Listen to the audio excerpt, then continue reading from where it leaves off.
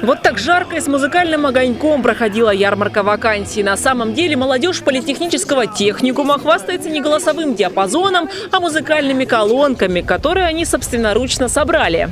Их крутость в том, что одна колонка чуть больше другой, и можно их буквально друг в друга складывать, и получается меньше габарит колонок. Ребята своим примером показывают, какие технические профессии можно освоить и своими ноу-хау разработками неплохо зарабатывать на жизнь. Эту ампулу обязательно нужно э, надрезать резаком. Это травмоопасно, можно повредить, ну и дополнительные движения. Эту же ампулу можно э, открыть просто руками. Это легче, это быстрее. Как правильно вскрывать ампулы, делать перевязки, оказывать первую помощь. Мини-лайфхаками делятся студенты-медики с участниками ярмарки и завлекают в свои ряды.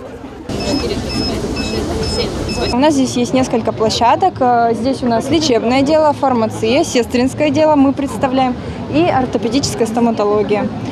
Ну, вообще мы видим заинтересованность людей, особенно молодых людей. Нам очень важно привлекать студентов в наше учебное заведение. Остановились вот здесь, возле э, медицинского колледжа, возле лечебного дела. Почему так вот заинтересовало? Ну, просто мне интересная тема. Я не скажу, что прям хочу врачом быть или ну, быть связанным с, э, с медициной. Просто интересно все изучать, такие таблетки, там, уколы и так далее. Не может еще понять, определиться. Вот. Ну, скорее, сфера, связанная, наверное, с общением с людьми, потому что хорошо умеет общаться. А уже что конкретно выберет сам. Может, тоже рекрутер Помимо технарей и медиков, на площадке парка «Изумрудный» представлены 3000 различных вакансий. Алтайские предприятия, а их больше 80, ищут инженеров, программистов, менеджеров, дорожников и многих других. Размер заработных плат по отдельным профессиям превышает 100 тысяч рублей.